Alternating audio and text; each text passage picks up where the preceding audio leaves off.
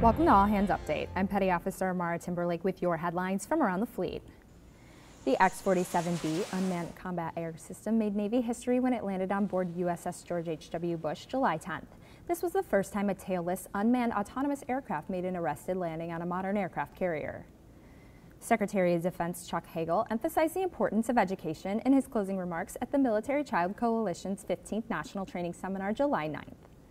Their education is a strategic investment in our future. Today, I want to assure you that DoD will continue these investments even as we transition away from more than a decade of war and confront the reality of reduced resources.